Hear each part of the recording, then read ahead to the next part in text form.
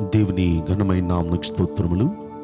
ఈ వాగ్దానం వింటున్న మీకందరికీ మన ప్రభువును ప్రియ రక్షకుడైన యేసుక్రీస్తు నామములో శుభములు మా హృదయపూర్వకమైన వందనములు తెలియచేస్తున్నాం. ఈరోజు దేవుని వాగ్దానం లేవీకాండం ఇరవై ఆరవ అధ్యాయము పదకొండవ వచనం. నా మందిరమును మీ మధ్య ఉంచెదను. నేను మీ మధ్య నడిచేదను. ఈ వాగ్దానం వింటున్న మనందరి వెనికిడిలో మన మంచి దేవుడు నెరవేర్చునుగాక. అమేన్ ఈ వాగ్దానం మన పట్ల నెరవేరాలంటే మనం ఏం చేయాలి? మొదటి మూడు వచనాల్లో జవాబు ఉంది. మొదటి లైన్లో మీరు విగ్రహములను చేసుకొనకూడదు. దేవుని స్థానంలో ఏ విగ్రహాన్ని గాని ఏ మనిషిని గాని ఏ వస్తువును గాని ఏ వాహనాన్ని గాని దేవుని స్థానంలో మనం ఉంచకూడదు. దేవుడు ప్రముఖమైన స్థానం. ఆయన స్థానంతో ఏ స్థానాన్ని కలపకూడదు ఆ స్థానంలో ఎవరిని దేన్ని పెట్టుకోకూడదు. పెట్టుకుంటే అదే మనకు ఒక విగ్రహం అయిపోతుంది. ఏ విగ్రహ ఏ విధమైన విగ్రహాల్ని మనం చేసుకోకూడదు. అది మొదటి పాయింట్. రెండో పాయింట్. నా విశ్రాంతి దినములను మీరు ఆచరించవలెను.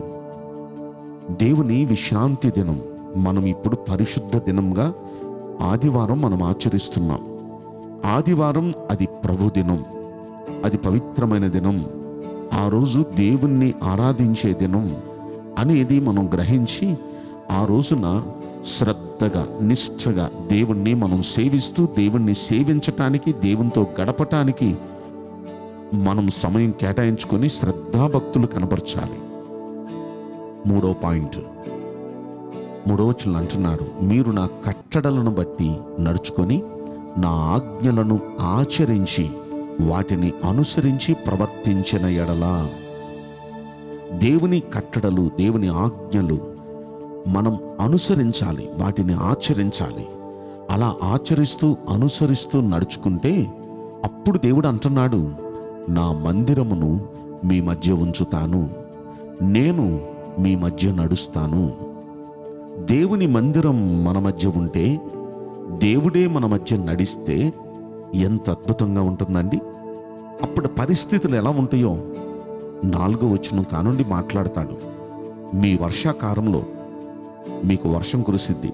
మీ భూమి పంటలు పండుతాయి. మీ పొలాలు చెట్లు అన్నీ ఫలిస్తాయి. అంత మాత్రమే కాదు మీరు తృప్తిగా భుజించి మీ దేశంలో నిర్భయంగా నివసిస్తారు. అంత మాత్రమే కాదు నేను మీకు క్షేమం కలుగజేస్తాను. అంత మాత్రమే కాదు మీరు పండుకున్నప్పుడు కూడా ఎవ్వరు మిమ్మల్ని భయపెట్టరు. అంటే ఏ భయాలు ఏ ఆందోళనలు ఉండవు. అంత మాత్రమే కాదు ఎనిమిదో వచ్చిన అంటాడు మీలో ఐదుగురు నూరు మందిని తరుముతారు నూరు మంది పదివేల మందిని తరుముతారు. అంటే అంత బలం అంత శక్తిని మన ప్రభు మనకు అనుగ్రహిస్తాడు. అంత మాత్రమే కాదు ఇంకా అంటాడు మీరు చాలా కాలము నిలవైన పాతగిలిన ధాన్యం తింటారు క్రొత్తది వచ్చిన పాతది ఇంకా మిగిలి ఉంటుంది. అంటే అంత సమృద్ధి. దేవుని మందిరం మన మధ్య ఉంటే దేవుడే మన మధ్య నడిస్తే ఇప్పుడు నేను చెప్పిన ఇవన్నీ జరుగుతాయి. ఇంకా అంటాడు పదమూడవ వచనంలో నేను మీ మీద కాడి పలుపులను తెంచి మిమ్మను నిలువుగా నడవ చేస్తాను అంటున్నాడు. మన మీద ఉన్న కాడి బరువులు వాటన్నిటినీ దించేసి నిలువుగా ప్రశాంతంగా మనం నడిచేటట్టుగా దేవుడు చేస్తాను అంటున్నాడు. ఎన్ని ఆశీర్వాదాలు చూడండి. భూములు బాగా పండుతాయి. ఏ సమయంలో జరగాల్సిన అచ్చట ముచ్చట ఆ సమయంలో జరిగిద్ది. వర్షాకాలంలో వర్షం ఇస్తుందంటే ఏ సమయంలో జరగాల్సిన ముచ్చట ఆ సమయంలో జరుగుతూ ఉంటుంది. పంటలు బాగా పండుతూ ఉంటాయి. అని మన ప్రయత్నాలు బాగా ఫలిస్తూ ఉంటాయి. అంత మాత్రమే కాదు మనం క్షేమంగా ఉంటాం. మనం భయపడాల్సిన అవసరం ఉండదు. మనకు అద్భుతమైన గొప్ప శక్తి బలం దేవుడిచ్చి మరి అంత స్ట్రెంగ్తన్ చేస్తాడు. అంత మాత్రమే కాదు మన మీద ఉన్న భారాలన్నిటినీ తగ్గిస్తాడు. మన పంట పాత పంట ఇంకా ఉంటానే ఉంటుంది మిగిలి ఉంటుంది కొత్త పంట వస్తుంది. అంటే పొంగి పొర్లే అనుభూతి అంటే ఇదే.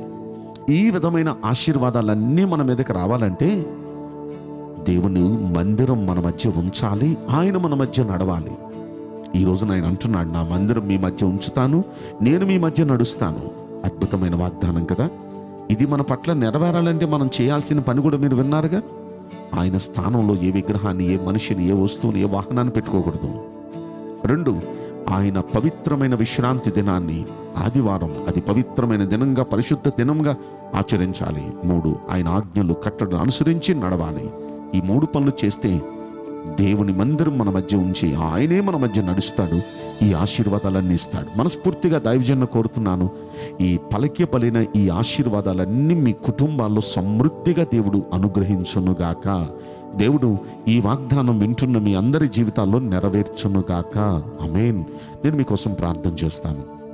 పరిశుద్ధుడా ప్రేమలేసురాజా మీ పరిశుద్ధ బంగారు పవిత్రమైన నామ్మునకు నిండు మనసుతో కోట్ల కొలదిగా స్థుతులు స్తోత్రములు వందనాలు చెల్లిస్తున్నాం. ఈ వాగ్దానం వింటున్న ప్రియుల జీవితంలో దయచేసి ఈ వాగ్దానం నెరవేర్చండి.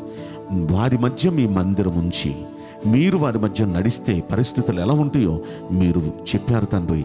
ఆ విధంగా ప్రభు వీరందరూ ఆ- మంచి పరిస్థితులు అనుభవించినట్లు నీ ప్రత్యేకమైన కృప నుంచి నీ మందిరం వీరి మధ్య ఉంచి వారి మధ్య మీరు నడిచి ఈ అద్భుతాలన్నీ జరిగించాల్సిందిగా ప్రాధేయపడి మిమ్మల్ని వేడుకుంటూ నజరుడైన యేసు క్రీస్తు ప్రశస్తమైన నామములో మెక్కిలి వినయముతో ప్రార్థించి బ్రతిమలాడి వేడుకుంటున్నాం. ప్రియ పరలోకు తండ్రి. Amen. May God bless you all thank you